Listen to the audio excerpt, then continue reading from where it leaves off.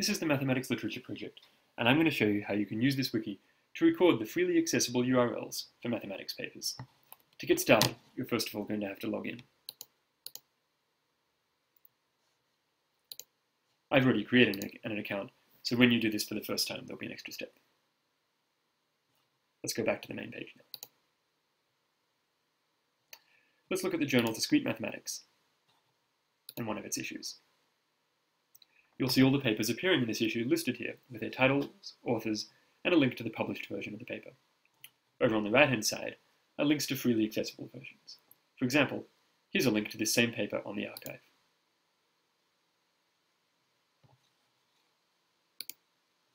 And here's a link on an author's webpage. Someone's already been here and started filling in some of these links, but further down, there are plenty more to do. For any paper where we don't know a freely accessible URL, there's already a little icon here to help you search on Google Scholar. Let's go there. We have to be a little careful here. We're looking for the paper Wiener Index of Iterated Line Graphs of Trees Homeomorphic to H, but the first result is about trees homeomorphic to the claw.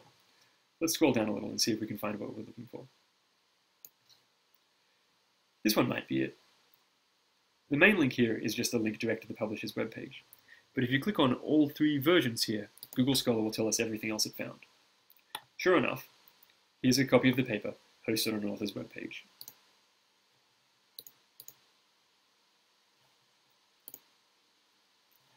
Let's copy this URL and enter it into the wiki.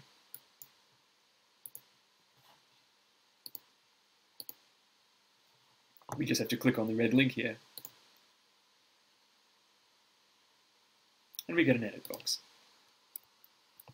Paste in that URL we just got, and then save the page. Unfortunately, because of the way the wiki is set up for now, it takes us back to this data page rather than the table of contents we were looking at a moment ago. If you click back twice, you'll end up where you were. You have to also click reload so that the content you just entered shows.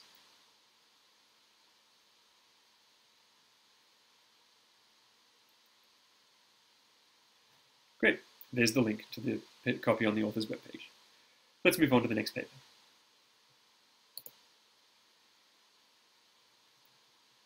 This looks like the right one. Let's look at all versions. Unfortunately, oh, there we go. There's a, a copy of this paper on the arXiv. Let's right click here and copy the link to the abstract page on the arXiv. Now let's Insert this by clicking on the red link, pasting it into the box, and clicking Save.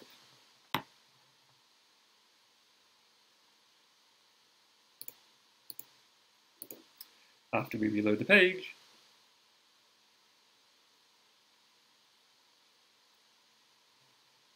this URL for the paper appears. Let's click on it just to double check that we really did the right thing. If you realize you made a mistake, you can click on this pencil icon to edit the link that you inserted previously. Let's do one more.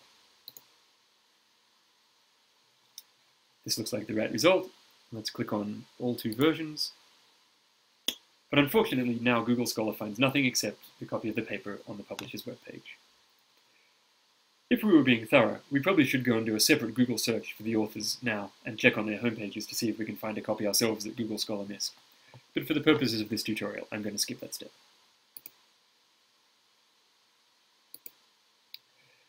Since we failed to find a freely accessible URL, let's record that fact.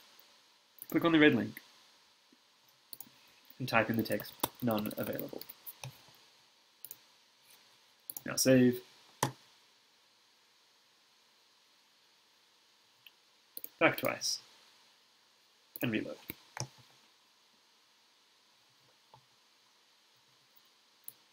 This shows up nicely highlighted in red as a paper that's not freely accessible anywhere on the internet.